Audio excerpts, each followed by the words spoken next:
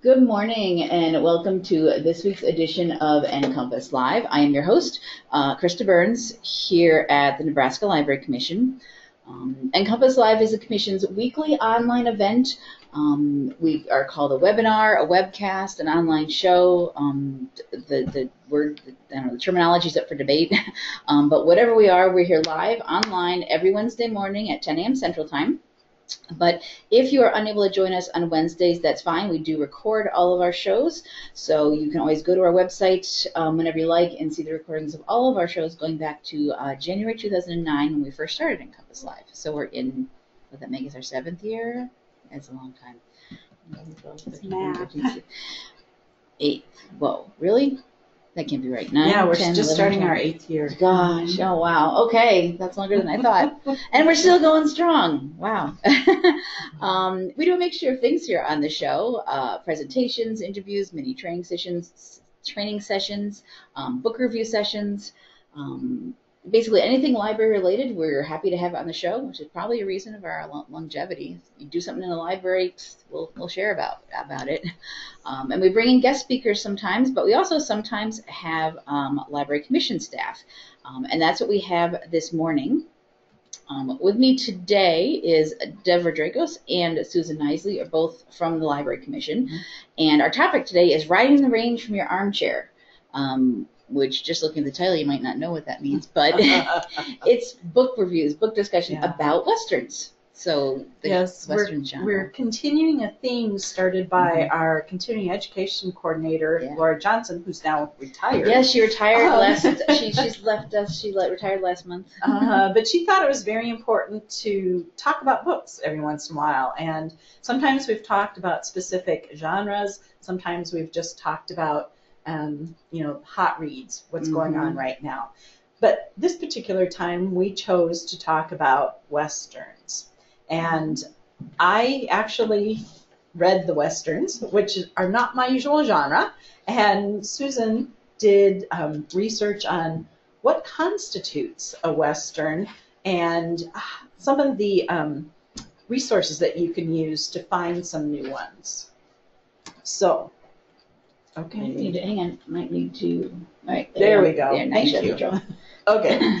Um, so, normally, um, when you're talking with a patron um, about what they are looking for as far as reading goes, when you're doing a reader's advisory interview, um, you ask about things like, well, what did you like in the book? Was it the setting? Was it the time period? What was it the, you know, the, were there certain appeals? Um, and sometimes people, when they they think westerns, think, well, westerns are all the same. But actually, that's not true. it's like any other genre. There are different subcategories, Mhm. basically. So, for the setting, did you want to talk about? Um, well, it's interesting as you read information about the genre. Um, you see some, uh, some sort of what's what's the standard understanding, but then uh, it it always expands from there. So. Um, oftentimes, articles will reference westerns as being um, from after the Civil War until um, early 20th century. Um, you have people who think that uh, the frontier closed in 1890, so that's a cutoff that some people use. Um, you also see people talking a lot about how uh, the uh, Western really started out, the roots of the Western were James Fenimore Cooper and his Leatherstocking Tales, and those, of course, start in upstate New York. Mm-hmm. Um, and the frontier back then was anything west of West of New York. west of New York. yeah. Um, you know, anything west of the um, Appalachians. Um, so you know, you have Ohio, Kentucky. Back then, that was the frontier. Mm. Um, so it really depends on what your patron is interested in. Do they really want? What's their definition of the West, and is that the most important part of the book for them? Do they are they more interested in people um, going out into uncharted territory, or do they really want something set in Wyoming or Texas? Um, so, you know, when you're looking for books for the patron, that makes a difference. You can Mhm. often look uh, for books set in particular states. Um, if if they're not particular, um, you can have westerns that are set in Western uh, Canada. You can have Oh. westerns that are set in Alaska, uh, Alaska, um, that that cross over into Mexico, um, Arizona. Um, definitely, uh, definitely, you know, west can be anything probably west of the eastern seaboard. Um, So again, you know, what what is it about the setting? What what what is their definition of a western setting that appeals to them? So that's Mhm. that's um, you know that's open to interpretation. Right, right. Um, and as far as the time goes, Susan mentioned, you know, the sort of after the Civil War, but you know, maybe cut off in the 1890s. Um, the Western Writers of America website, when they're handing out awards, actually um, defines uh, their traditional or historical westerns as anything that where the story takes place pre 1940 and then anything Wow. after 1940 is a contemporary Western story. Hmm. So they do acknowledge the contemporary time period too. Uh-huh. And there's actually another organization that uh, is called Western Fictioneers. Uh, they're a professional writing group.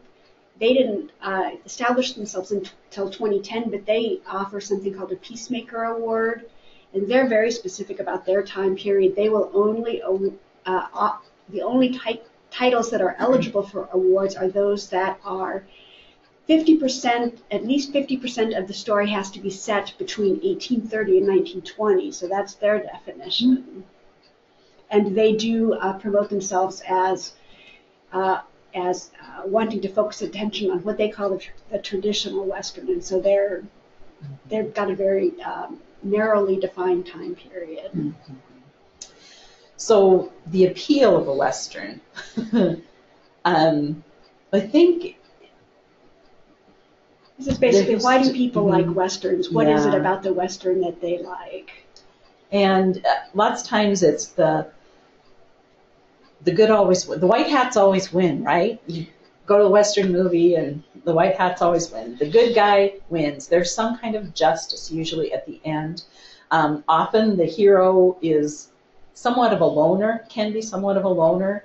Um, they're struggling against something, an, another person, or against the uh, the nature, whatever's going on, you know, sort of survivalist type Mhm. thing. Um, and and sometimes, well, in a, a large number of them that I read too, uh, it's they're trying to bring in some kind of uh, civilizing influence, but on the other hand, they still want to be independent. You know, the independent, rugged, you know, Yeah. Person who can make it on their own if they need to.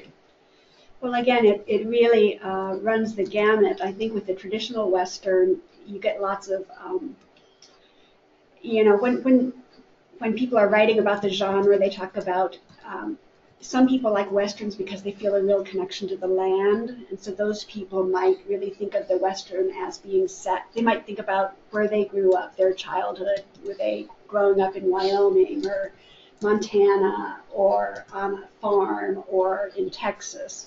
So for them, the appeal might be a certain um, type of landscape or um, way of life that they have some connection to. So it's a nostalgia for a past time.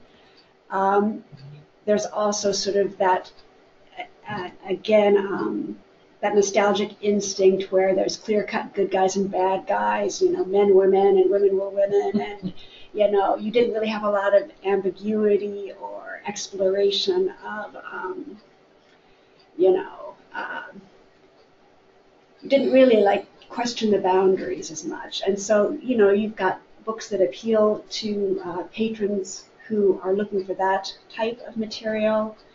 I think once you get into more literary westerns, you get, you know, Deborah mentioned the lone hero, Alone in the Wilderness, um, good guys, bad guys. I think sometimes in the literary westerns you get more of that sort of exploration, that existential angst, or the moral ambiguity, questioning those kinds of issues. and so those might appeal to people who aren't necessarily interested in westerns per se, but are more interested in that sort of human condition. Uh-huh.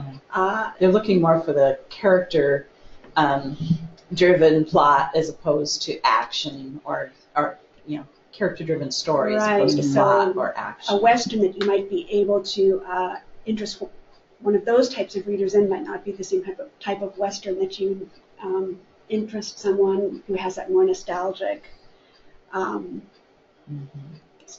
you know, viewpoint or that more a little bit more conservative or, um, you know, as far as crossovers, uh, some of the material that I read talked about you might even be able to interest people in what are considered gentle reads. Um, set in a Western setting. Mhm. Um, again, it's um, a sort of a nostalgic view of life. Mhm.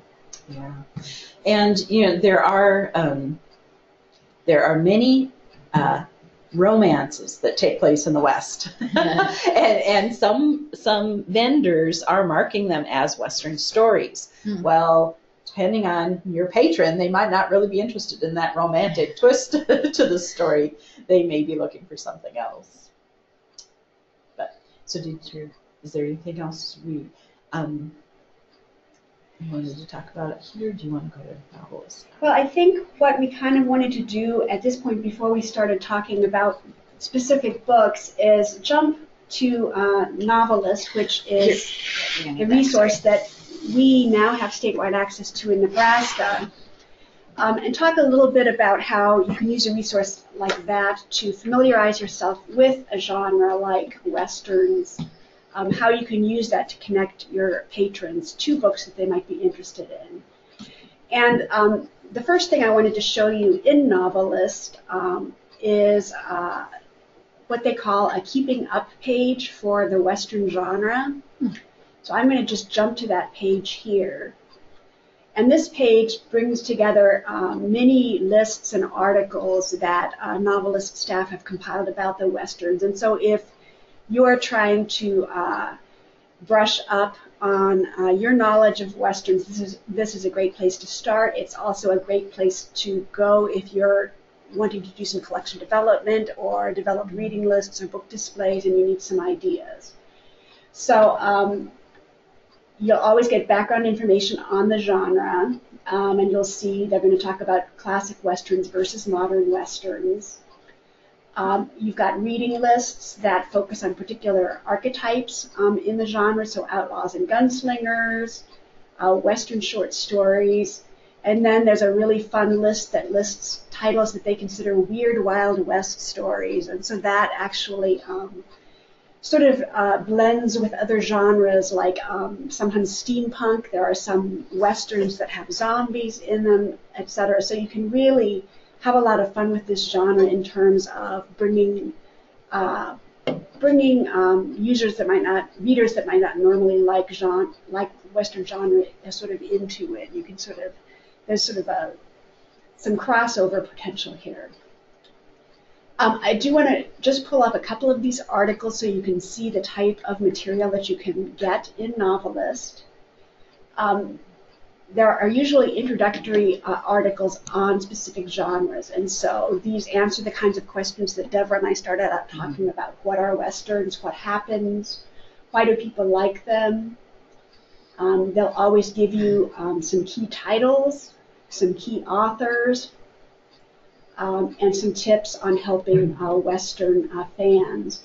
And this particular article does mention awards that are given specifically to Westerns.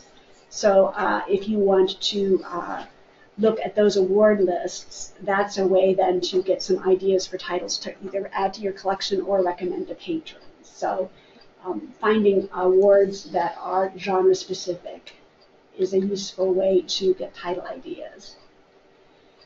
Um, I also just want to show you um, a couple of these articles. Um, they will talk about specific types of westerns, and the nice thing about these articles is they will always have uh, title suggestions within them. So, again, every um, every page you go to, you'll get more and more title suggestions. So, um, you know, you can really really uh, get ideas for collection development for uh, uh, title lists that you might want to hand out to your patrons. Uh, if you scroll down, uh, you'll have more title suggestions on this page. Um, you'll even have a handout uh, or a small poster that you can print out and put up to uh, give your readers some ideas of Mm, titles nice. they might be interested in. So they've got those pre-made.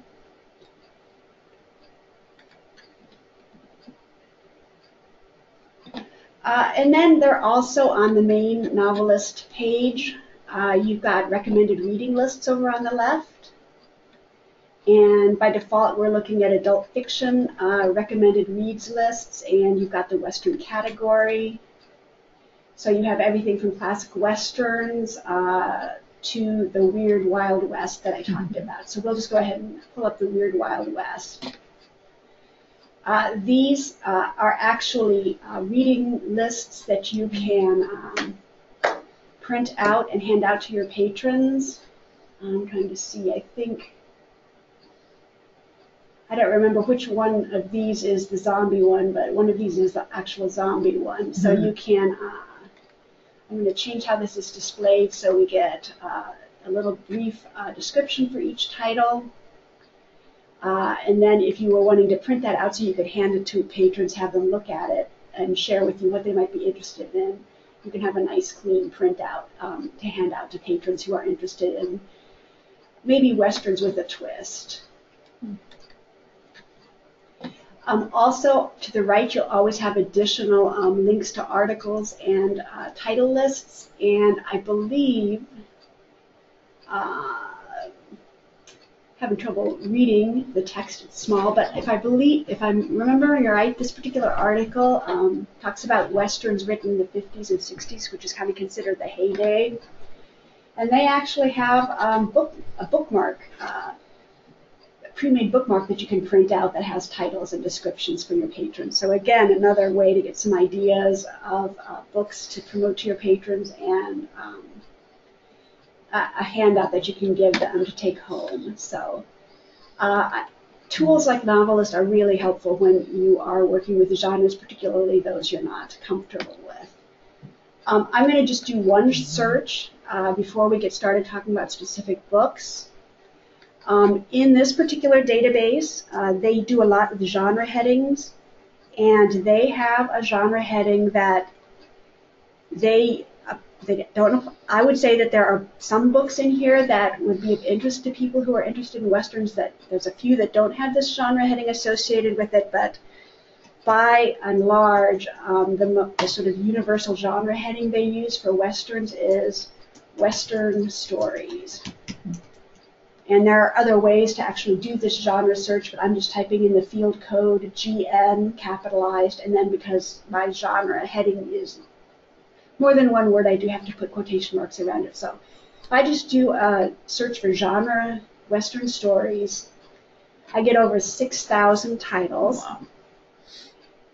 And I think it's interesting, the first one that comes up is something that would probably be considered pretty atypical. It's Seth MacFarlane's A Million Ways to Die in the. West, which of course was a movie. Yeah. So that's going to be not something that's of interest to people who are fans of tr- traditional westerns, but right right away it Sort of fit into shows you- that weird category, It- it- right? Because yeah. it's something. It shows you the, the Yeah. um, some of the uh, variability in the collection.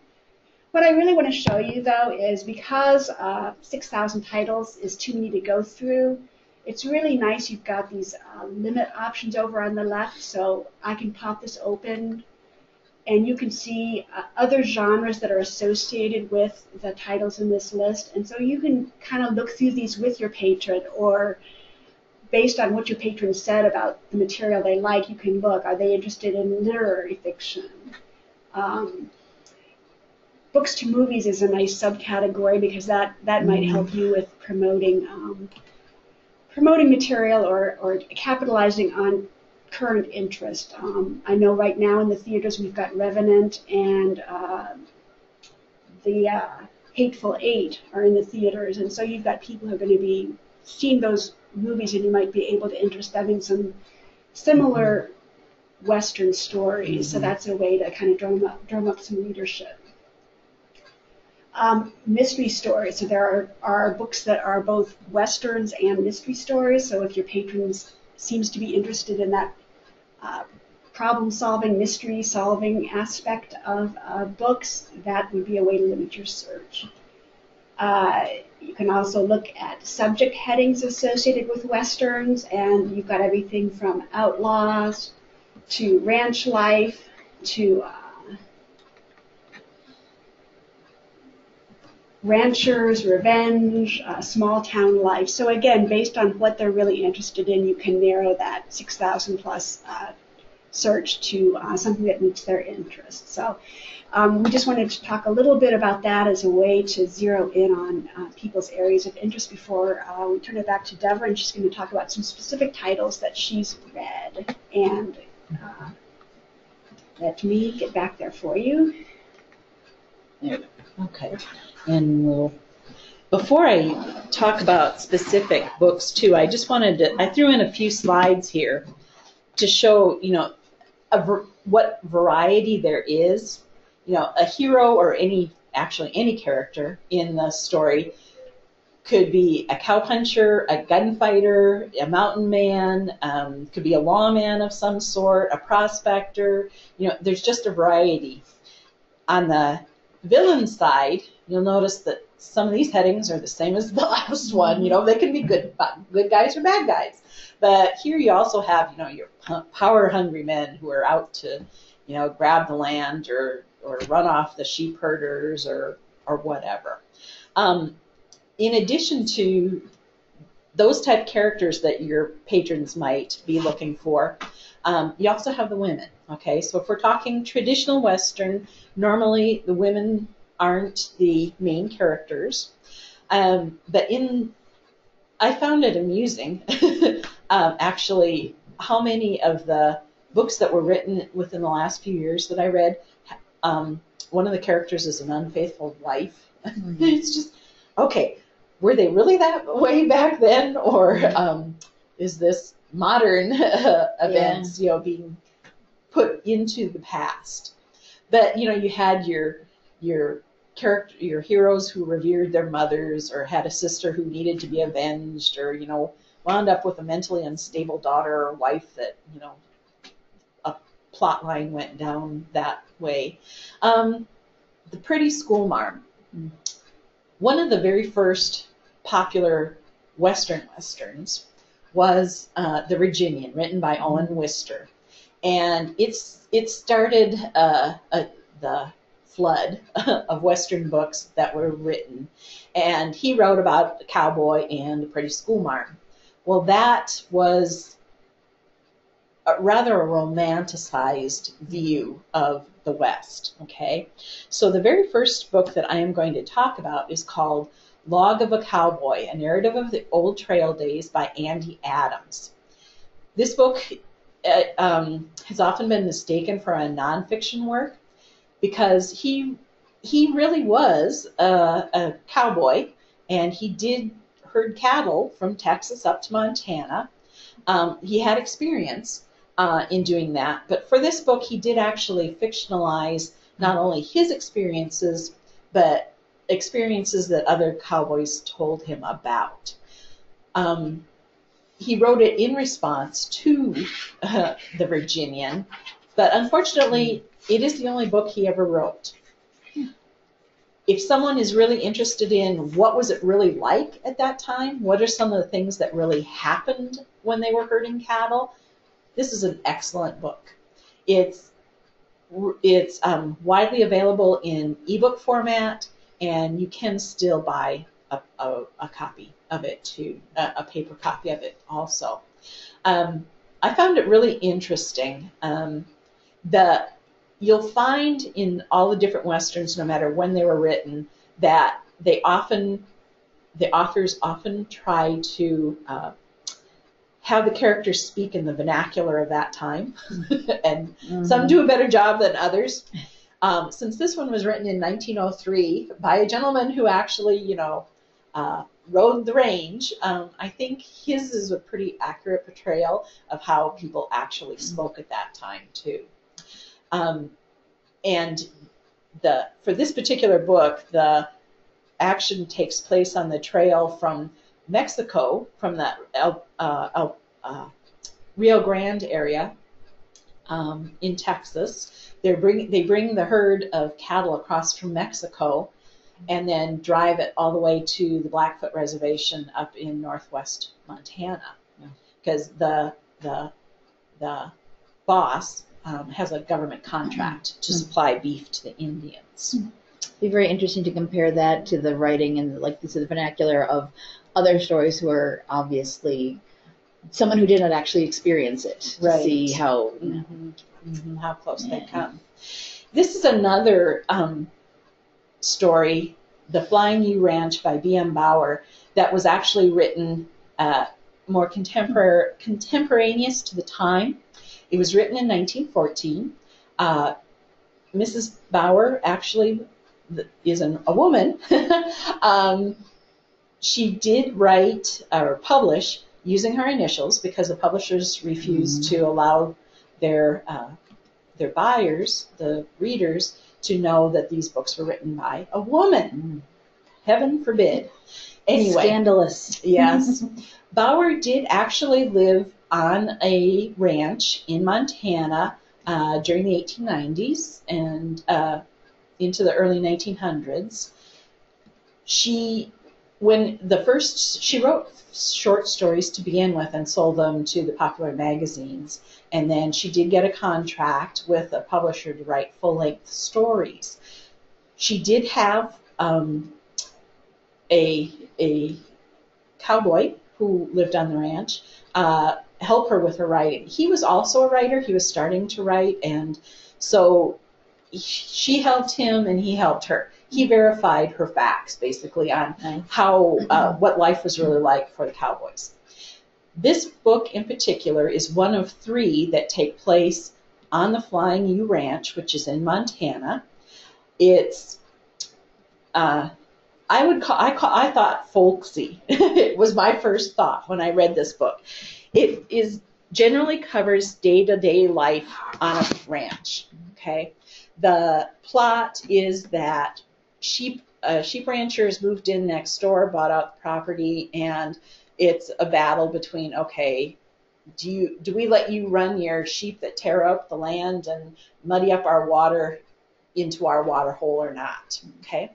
Um, in Novelist, I just wanted to point out, well, there are a couple things I wanted to point out, but one of the things I wanted to point out, um, Susan pulled a list for me for each of these books, and I thought folksy, they say it's uh, chaste. and I found that, yeah, I, I found that sort of amusing, but I have to say, um, Mrs. Bower says that the cowboys curse, but she doesn't say the actual words that they Ah. use.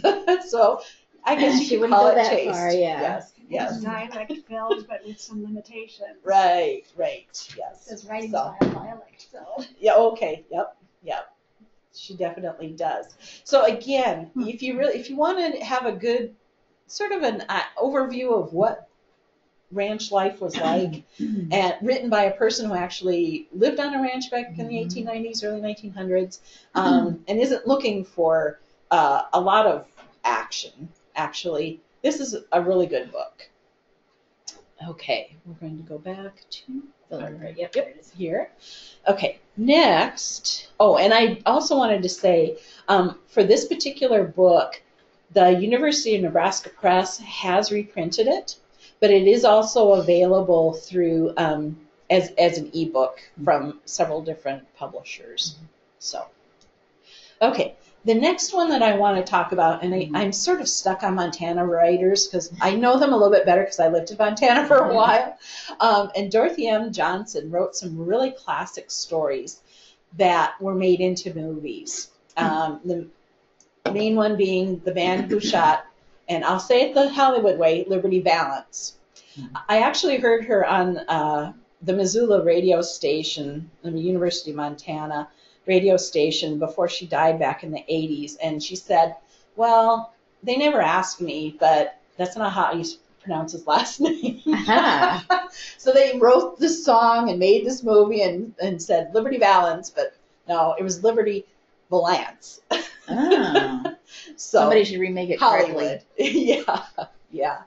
Um, Johnson's works were more gritty, um, and actually, The Man Who Shot Liberty Valance um, softened the story by quite a bit.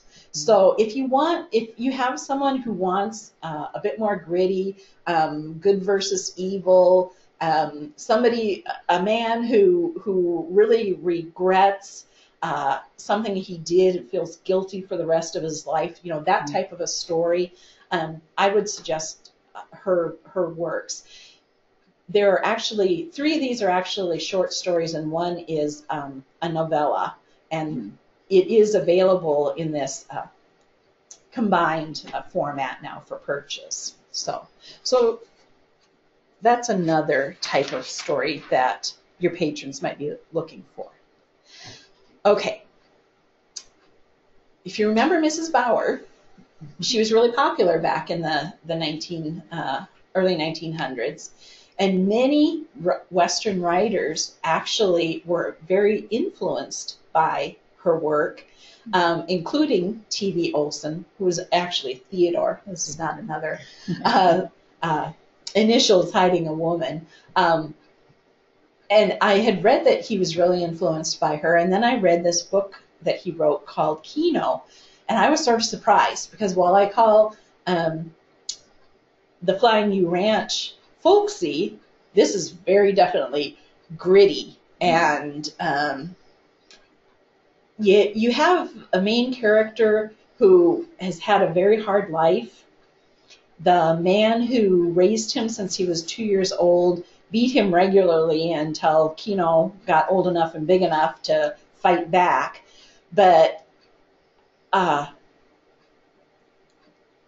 he's been called, he's gotten a message from his foster father to come meet him at, in sort of a desert remote area to um, run a con with some other guys. They are actually going to planning on stealing money from a cattle rancher, a powerful man in the area, who is actually stealing money from the government and the Indians because he's mining uh, he, gold on reservation property. Okay, but Kino still has a sense of right and wrong, and um, he fights back. He fights injustice, I guess you would say. But it's just a very gritty life. Okay. Mhm. I found it so comparing it to the Bower book, I found it really interesting. Um, let me see, was I there? Okay. So moving. Oops, I hit it one too many times. Moving on. Okay, Louis L'Amour, very, very, very, very popular. So I mm-hmm. debated about whether talking about him, but you know, he remains popular. And a lot of current writers use the same basic themes and settings that Louis L'Amour does. He did tend to write sort of what I would call family sagas. Um, he had his Sackett series, for example, where he followed the fa- had a story about the father and then a number of the sons and then other things happened, etc. The one that I picked to talk about today called Sackett is about one of the sons named William Tell Sackett or Tell for short. Okay. Um, he is a he has been a roamer. Um, he's up work at the beginning of the story. He was working uh, as a cowpuncher, and um, he's ready to move on. His brothers have married and settled down, and he's thinking about that too. He's been wandering around the West for a while now, and he's sort of thinking about um, finding somebody, a woman, to, a good woman to marry, and settling down on a ranch and having kids himself. But on his way uh, to from Montana or up north to uh, his brother's place down in Colorado, he happens to come across a gold mine. you know, there's lots of prospecting in some of these books. And some of the themes in this book are greed, of course, um, and I would say family loyalty, but also in, this is one where the main character is very independent and self-sufficient. At one point, he gets caught um, in a cave, you know, out out in a in an uninhabited uh, valley, and there's a really big ice storm and then a snowstorm on top of it.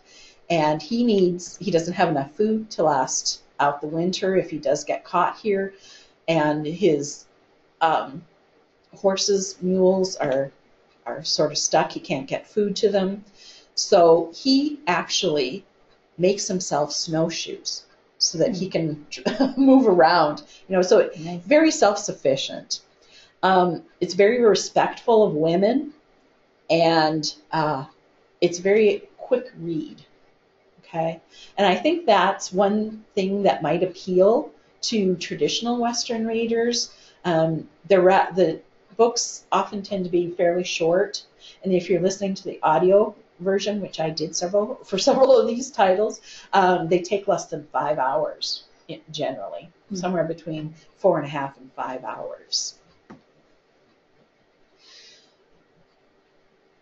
Oops, and before I go there, I'm sorry. I was going to go to the show you the novelist page just to um, show you that if you are looking for, if somebody does want a Louis L'Amour type book, okay, in novelist you do have the read-alikes. James Michener is another one that I think of as writing sort of like sagas, But wouldn't be short. but wouldn't be No. short. No. You gotta decide what they Uh, like about the yeah. Louis L'Amour. Yeah. Yeah. Um, El- Elton, uh, gosh, I, Elmer Kelton, I have a hard time with his name, is another one who's fairly popular but wrote some years ago um, and is uh, sort of a loner out on his own. Uh, William Johnstone, whom I'll I'll talk about at one of his You books. hover over those, it'll actually Oh, tell sorry. you. Yeah. Yep, let me just hover here a second. It will Yeah. actually tell you uh, what what the similarities are. Um, for example, plot-driven, um, Western stories, outlaws. So you can kind of get a sense: is it is this is the overlap in the area that is, is interesting the patron? Right, yeah. And of course, Tell has to battle outlaws who want to take his gold, the, yeah, that he found. So, so yeah, we have a variety of read-alikes down here, but if they do want, you know, if they wanted the family sagas, you can specify which parts they liked about this book and then do another search too. So, yeah, there's some gun. The gunfights aren't actually, you know, stand on the street and shoot them out, gunslinger type thing. But there's there are some fights, yeah. So, so that's that. Louis L'Amour. Okay, so then we go on to William Johnstone, and I decided to go ahead and talk about uh, Johnstone because um, I think he is his writing is very similar to Louis L'Amour, and he is still writing, even though he is getting up there in years. He is Oh. still writing, um, and he sometimes writes with his nephew J. A. Johnstone. He also uh, follows um, what he calls a family, the Jensen family. They're actually three men that have sort of formed their own family. They're not biologically related, but this particular book, The Hard Ride to Hell, um, is longer uh, than a Louis L'Amour book, but that's because, and I, and I have to admit, I didn't go back and look through other uh, Family Jensen books just to see if he, he he follows the same format. But in this one, he follow he gives each of the three men a story before they then come together to solve the big final problem. So it turns into a bit of a longer book. In this particular one, um, preacher uh, has vis- is visiting an Indian chief that he knows, and the uh, the encamp- Indian encampment is raided, and the chief's daughter and grandson are kidnapped. So he sends for Matt and Smoke, the two boys, to come and help him.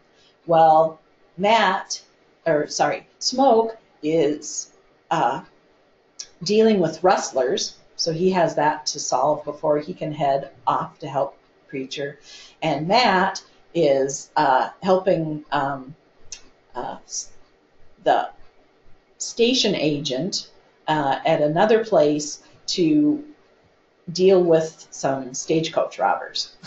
so you have always- multiple different, something. yeah, there's always something going on. But again, um, you've got the, the the men who roam, which basically uh, preacher is a mountain man. That's how he describes himself. That's how he's described in the book. Um, Matt roams around doing you know jobs here and there and someplace else. He'll you know work as a as a cowpuncher and sometimes you know he'll do something like help stop stage robbers. Smoke has settled down. He um, married a school teacher and has his own ranch. You know, so so there's a bit of a variety there. There is action uh, in this story, um, and I, so I think people would would enjoy that one. Okay, for something just a little bit different, um, Blue Eyed Devil by Robert B. Parker. Unfortunately, Parker has died, but the series is being continued by Robert Knott. In this one, there are two men. So in I don't know that you say necessarily that one is the main character and the other one's a sidekick. Um, although one tends to speak for the other because one sort of doesn't talk a lot. Um, Virgil Cole and Everett Hitch. Uh, sometimes in some books they're lawmen, and in sometimes they're uh, pseudo lawmen. They're they're fighting for the right thing when the local sheriff or whatever is not doing his job. Okay, so they switch back and forth. But when I read this one, which is was written by Robert B. Parker, um, what really struck me was the dry humor in it. If you ever saw the movie Silverado, Mm-hmm. okay, it reminded me of that one. A lot of Ah, stuff is sort of yeah. tongue in cheek, you know, um, but it, it's humorous. Um, most of the usually the action takes place in in a town where they're trying to solve uh, some kind of problem. Whether you've got people who are taking advantage of other people, or people who are trying to steal from other people, or uh, whatever's going on. Okay, so it's a again a very quick read. Um, I did look at one of the t- the books that was written by Robert Knott, and while the characters are still there, they're still doing the same types of things, and there wasn't quite as much of the same humor. So that changes a little bit, but they're still off having adventures. Okay. Okay. And I think, sorry, Looking at my notes here. I was going to go to the novelist. I lost my pointer there for a second. Here we go. Okay. On this particular one,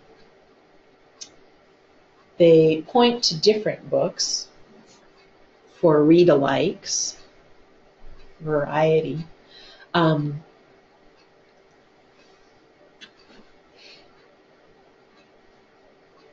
it is very fast paced. This one they say gritty, and I, I get I would agree with that to an extent. It's not as gritty as Kino, but it it's more they're more uh, they're hard men basically. Okay, and yeah, it's witty.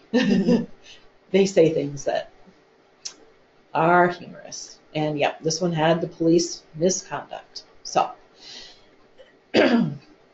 Moving on. And if anyone has any titles or authors that they want to contribute as being similar or being um,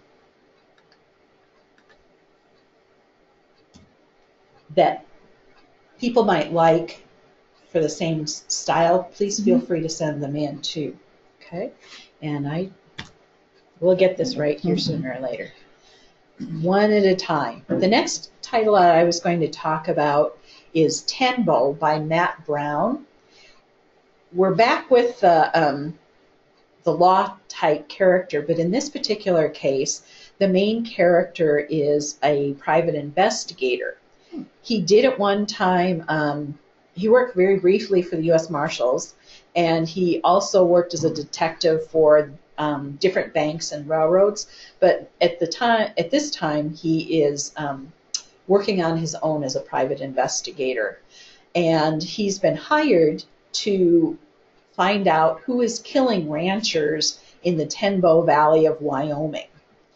Um, he does work as a track as a tracker. He's trying to um, he goes to the places where the shootings have occurred, and he finds where the the uh, sniper basically because there's it, the killer is shooting over a very long distance where the sniper actually uh, was to, while he where he waited and then where he uh, shot the person. And he tracks tracks he you know he follows the forensic evidence i guess you would say. Um, so I, I found it interesting. The he you know took on different characters. At one point he took on the character of a gambler. And then he uh, worked went out to a ranch and, and posed as a horse breaker. And you know just he could fit into a variety of different um, fields. Um, he could do different things while he was trying to gather this information. And he does solve at the end you know who the um, who the perpetrator was.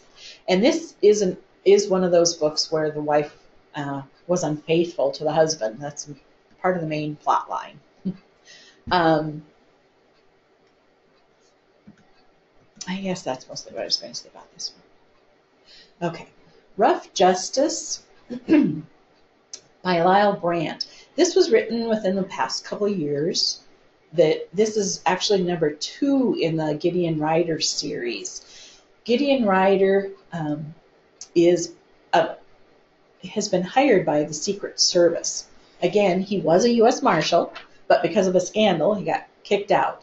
This takes place just after the Civil War, and the Secret Service was had um, as, in relation to the stories has just been established.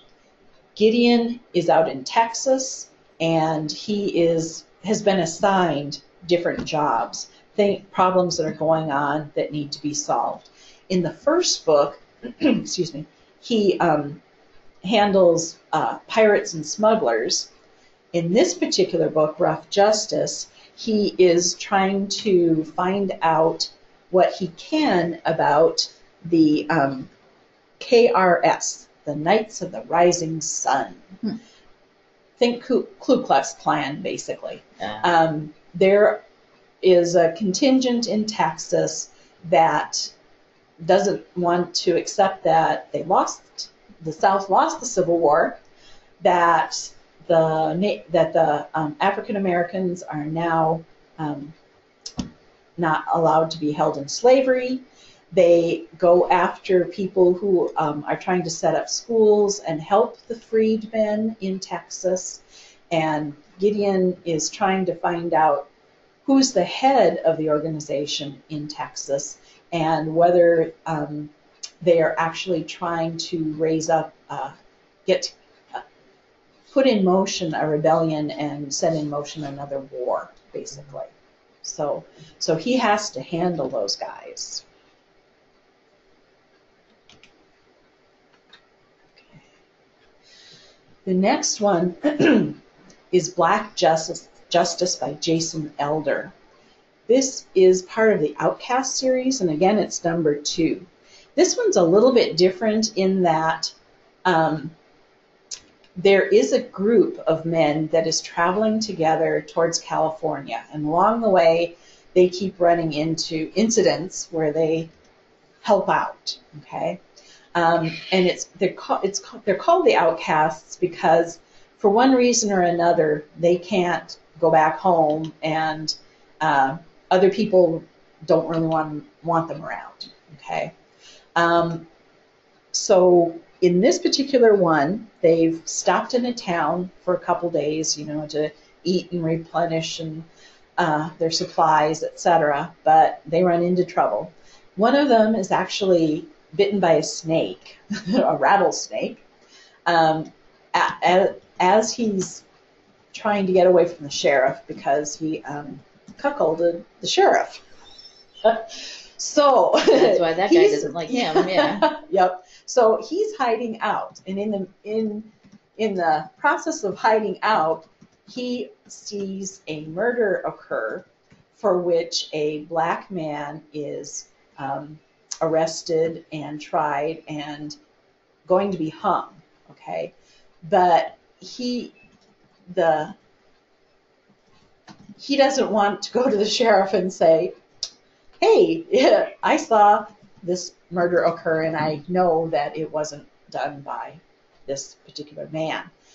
So the others in the group um, try to figure out who actually did murder the guy, and so it is a mystery. It, several of these, you'll notice, are do have very much a mystery theme. Something occurs, and they try. Someone is trying to figure out who did it, why did it happen, etc. So that's another uh, book that has certain themes to it. Let It Bleed. Um, I put this one in. I was trying to do something of a variety. This is part of a series, Gunsmith. Uh, his nickname is Gunsmith. His real name is Clint Adams. There are a number of books written about that J.R. Roberts has written about him, and in each one he has a different adventure. This particular series is a bit more um, graphic in its um, description of interactions between men and women. uh, it shows bumbling police and power hungry politicians. Um, but as a twist, there's a journalist from Boston who's been following a serial killer across the country. Oh. And now um, the serial killer is in Abilene. So the journalist has talked the gunsmith into partnering with him to try to track down this man who's been killing women um, everywhere he goes. Um, I when I read this, I what I thought of in comparison is a a, a TV series. Hmm. Okay, I each see it does have the subtitle on the cover, the all action western series. So Yeah, you well, kinda- in this particular one wasn't quite so much action, but it moved. The story moved along really fast because every chapter was only about two and a half pages long. So Wow. you jump from scene Okay. to scene to scene to scene, just like in a TV, Yeah. you know, an episode of a TV series. so what does the 397 mean? Is that how many there are in this series? No, that's how many he has written, but I could not find that there are actually 397 of that are particularly focused on the gunsmith. ah, So, yeah, I, that one that was a little strange. the other thing about this cover is none of the illustrations really portray exactly what happens in the story. so you can't go by the cover necessarily. a little license with their uh, advertising there. Right, right. So, so far I've talked about mainly what are considered sort of traditional stories. They take place um, in the late 1800s. There's uh, there usually is some kind of action, you know, good trying to overcome evil. Um, some are gritty, some aren't, but they are more um, fictionalized characters. Okay, so Someone here did actually comment and say Gunsmith is very popular at her library. yeah, So yeah, I imagine so. um, whoops. On the other, on the other side of what I've been talking about are the more literary and what some people can uh, have defined what the Western writers of America have defined as historical westerns. Okay, where in this particular uh, title, The Last Kind Words Saloon, Larry McMurtry um, does a fictionalized version of. Sorry, I just lost the, the words that I wanted.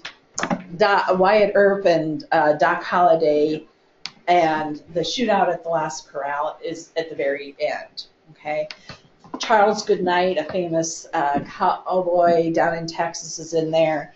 They um, they bring in um, uh, an an English peer who plans on building this, you know, big castle down in the southwest, which actually happened sometimes. So in your historical westerns, you have actual people who lived, historical real people, historical real events, um, and things of that nature. Okay.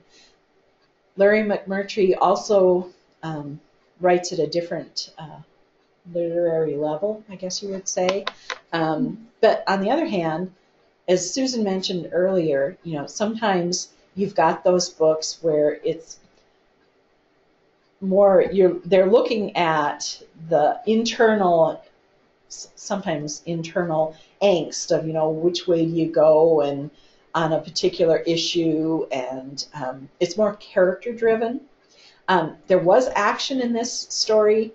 However there is very it's very gritty. Many of the characters are very dysfunctional. There's wife abuse there's very graphic descriptions of torture by indians um, he doesn't totally stick to the facts. uh, as you know, he he he imagines. Yes, he takes literary license. He imagines what has happened. You know, uh, between these characters before this shootout occurs. Um, so you know, some people really like that type of thing, and others prefer not to. Um, and I'm going to pop to novelist here for just a second, if I can get my pointer in the right way. There we go.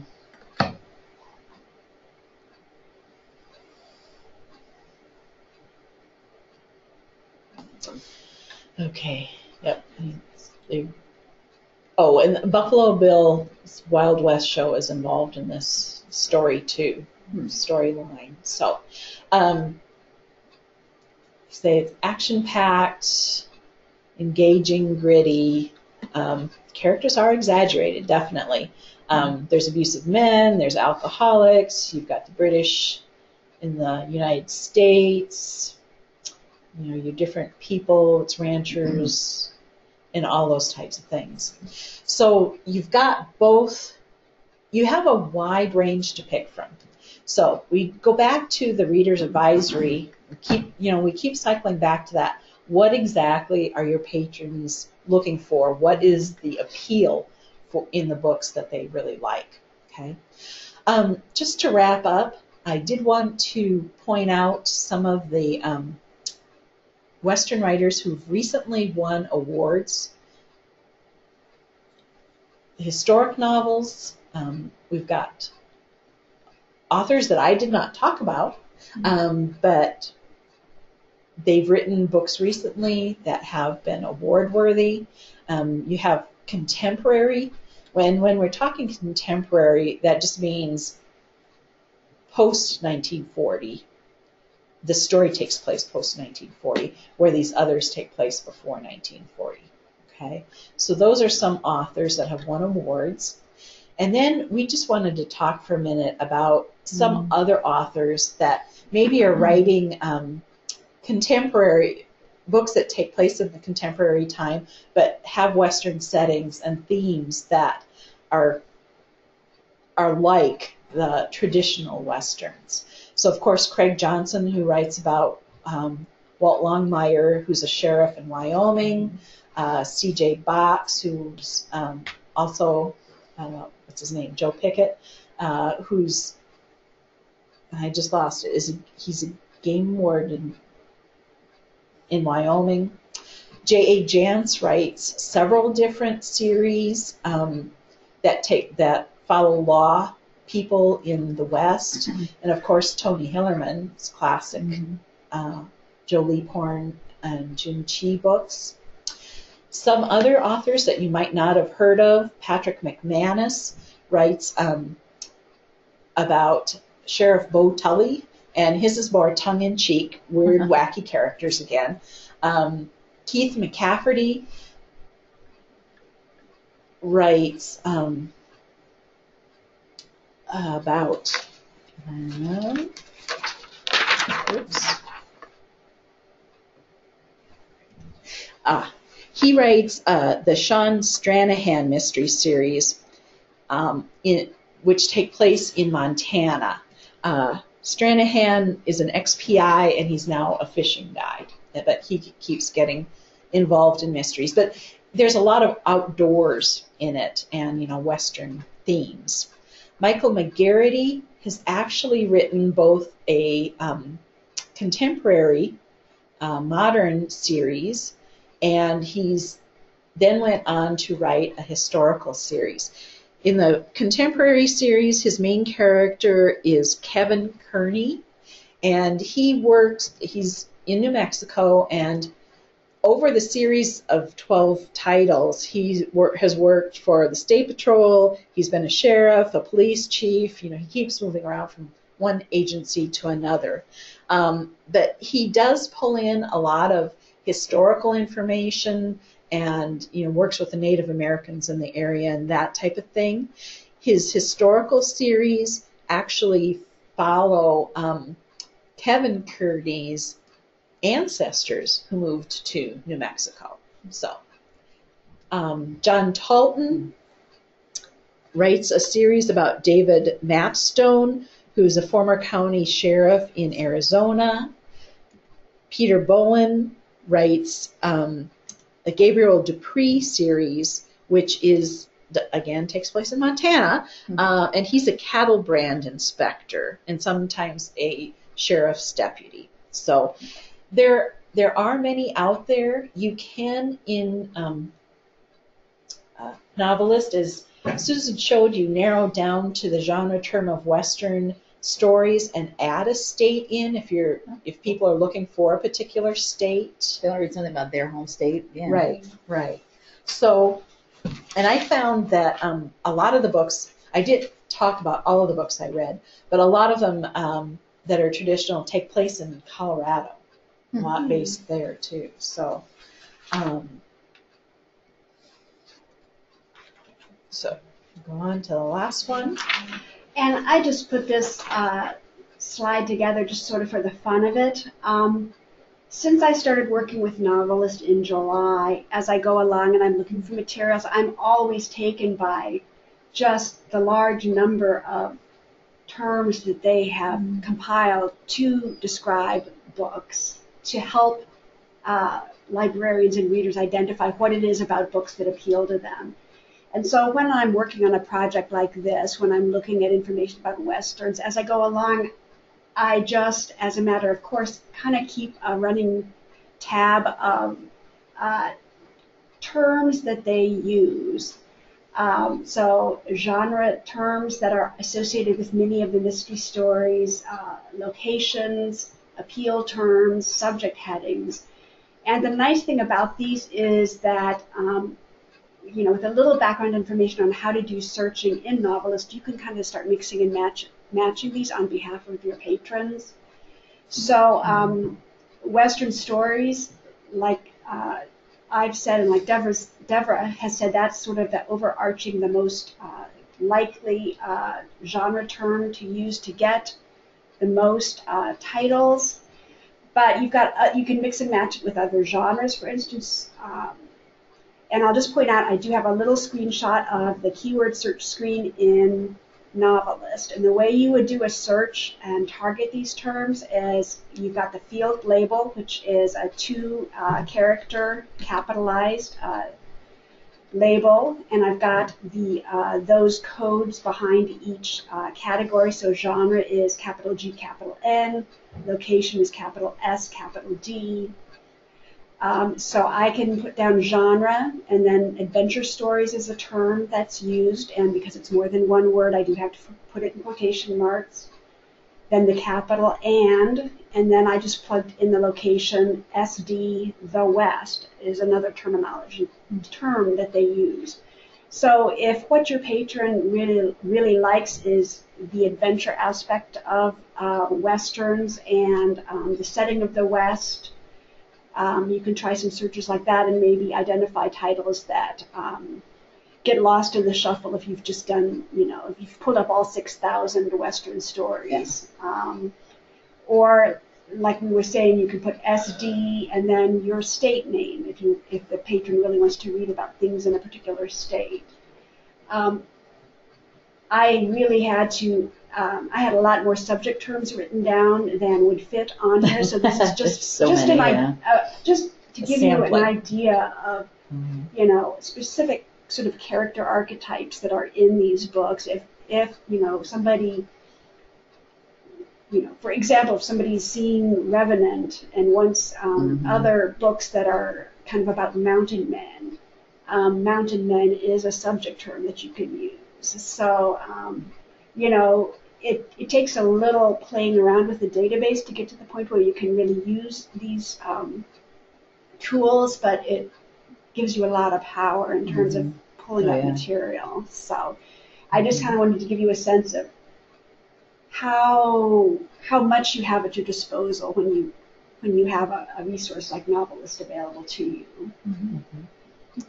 Did you guys want to show? You had brought up um, previously the um, the Western Writers of America page. It's you have to close some of these probably. 'cause- There it is. There you go. Yes. Um, you can go into, um, if you want to, you can go, if you go into about the awards, you'll actually pull up a PDF document that gives a, a description for each of the different types of awards that they give, and then I'll just pop down to winners. And they list all of them all the way back to 1953. Fifty-three. Yeah. Okay. Wow. Um, the categories that they give awards in have changed over the years, but this last year, as we said, they do um, give an award to a contemporary novel, which is the post 1940. The historical is actually um, pre 1940, but has a historical person, place, or you know event in it. And then the traditional novel is pre 1940, but is not um, does not include historical people or events. Okay, and then they have they go on to others. You know, they do talk about juvenile, um, which we have not talked about here today, but there are you know kids who like to read westerns and lots of authors to choose from there. Um, they do give to the first novel, and they do nonfiction uh, awards also, biographies, and that type of thing. So this is another source to find ideas of authors and titles. The other thing that I think is interesting here, um, you know, if you're doing reader's advisory in a particular genre, and you'll often find associations and organizations out there that promote that genre. And so their websites are really great resources for you as the librarian and maybe for patrons who are real big fans of that genre. They they might be interested in following that um, association as well. Many of these associations now are available. In this case, you'll notice along the left, um, they're available on Facebook and Twitter. Um, there's apps that you can download. So again, depending on how plugged in your patron is to, to social media, you might be able to get them hooked up with some of these resources so they can Find some. do some of that research themselves and, Right. and, and discover new authors. Right. And uh, and uh, we know you can't buy everything, and you might have some patrons who are you know who read a great deal and are always in asking for more, more, more. Um, there's always interlibrary loan. Yes, absolutely. But also, um, a lot of Western books, not all of the these um, authors, unfortunately, but a lot of them are available through um, vendors like Overdrive.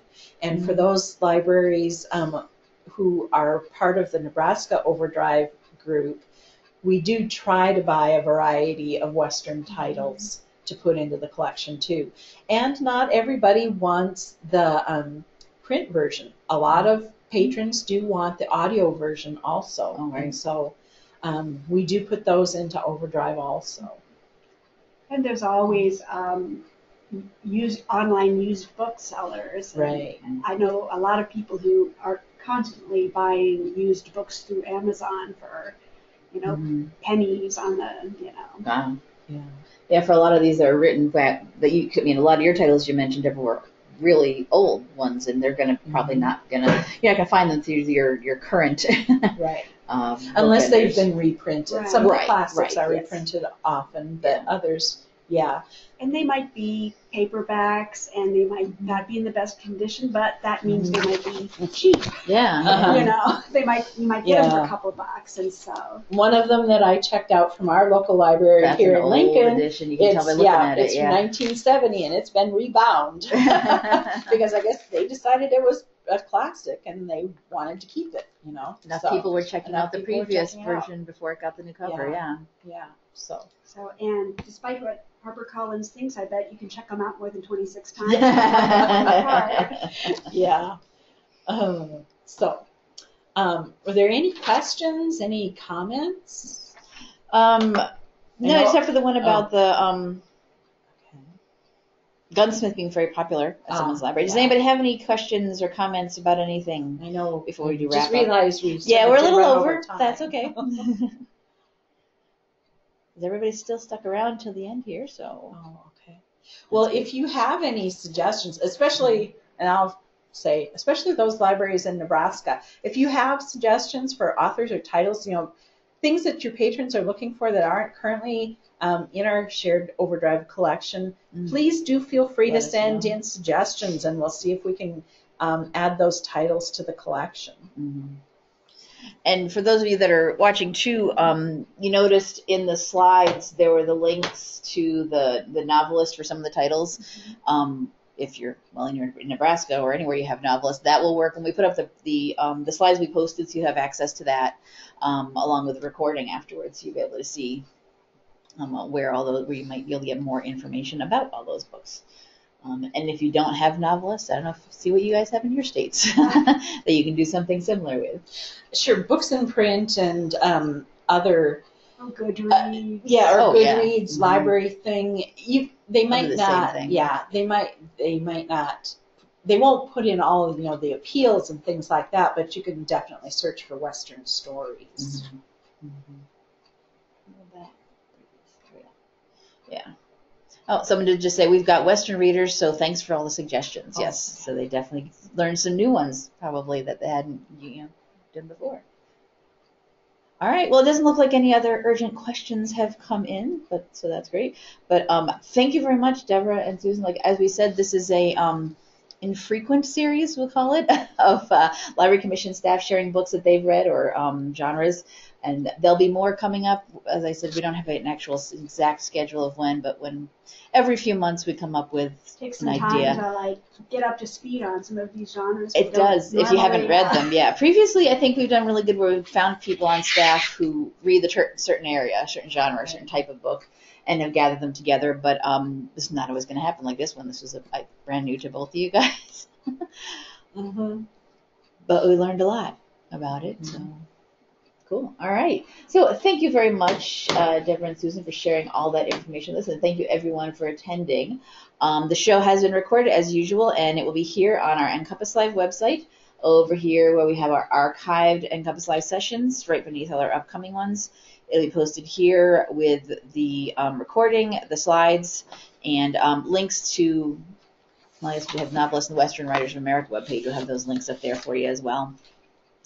Um, later today, I'll say, if I'm feeling ambitious, I gotta wait for everything to process and get everything posted and uploaded, but we'll get up there and you'll all get emails when it's ready to, um, to view. Um, so I hope that'll wrap it up for today. I'll hope you join us next week when, as I mentioned at the beginning, we are gradually moving the Library Commission to Windows 10. Some of our computers, like the one we're using today, is in Windows 10. The computer in my office is not yet, so I'm bouncing back and forth, and I know lots of other people are doing the same thing. Um, but next week we'll have our topic will be moving to Windows 10. Holly Wold, who is one of our IT people here um, at the Library Commission, is going to come and tell us um, what's going on with it, uh, overview of it, and how you can use it at your library if you do need to move to Windows 10. So just to get an idea about what the heck is going on with this wonderful new version of Windows that some of us may have to use at some point. Um, and also sign up for any of our other topics. We've got our upcoming shows there. We've got more coming into the schedule. Um, they'll be posted as I get the full information from all of our presenters. So keep an eye on our schedule there. Also, if you are a big Facebook user NCompass Live is on Facebook, if you go over there and like our page, you get notifications of our shows. Here, as you see this morning, I posted a reminder to log in um, for our show. Um, you can log in on the fly if you don't pre-register. Um, and when our recordings are available, I post up here. So um, if you are big on uh, Facebook, definitely um, give us a like over there. Other than that, that wraps it up for today. Thank you very much, everyone. I'll see you next week.